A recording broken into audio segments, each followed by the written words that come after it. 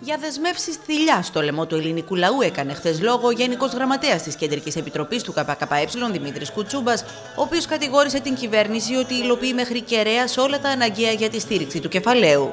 Προσπαθούν να καλλιεργήσουν προσδοκίες ψεύτικες ότι η επόμενη μέρα δήθεν θα είναι διαφορετική για τους εργαζόμενους, για τους ανθρώπους των λαϊκών στρωμάτων.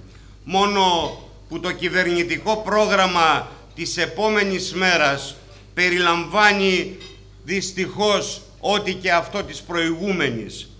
Σε πολιτική ομιλία του σε κέντρο εκδηλώσεων στις Βρύσες από Κορώνου, ο κ. Κουτσούμπας τόνισε χαρακτηριστικά ότι η κυβέρνηση ΣΥΡΙΖΑ ΑΝΕΛ δεν χαλάει χατήρια στο κεφάλαιο.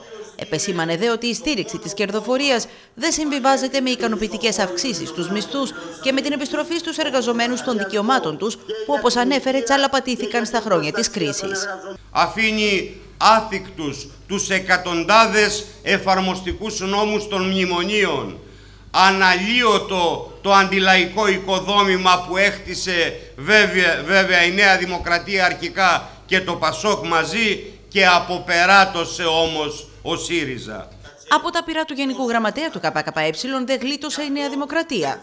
Το ίδιο βέβαια θα κάνει και η Νέα Δημοκρατία, η οποία τονίζοντας ότι το κράτος έχει συνέχεια, καθησυχάζει τόσο τα επιτελεία της Ευρωπαϊκής Ένωσης και του Διεθνούς Νομισματικού Ταμείου, όσο και το μεγάλο κεφάλαιο στη χώρα μας.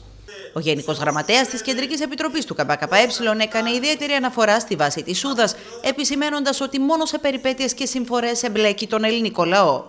Αυτή η επιχειρηματολογία που στον παλιό καλό καιρό του ελληνικού κινηματογράφου αποτυπώθηκε με τη γνωστή χιουμοριστική ατάκα «Καλό στα ναυτάκια τα ζουμπουρλούδικα» ή όπως αλλιώς κορίτσια ο στόλος ξανασερβίρεται πλέον.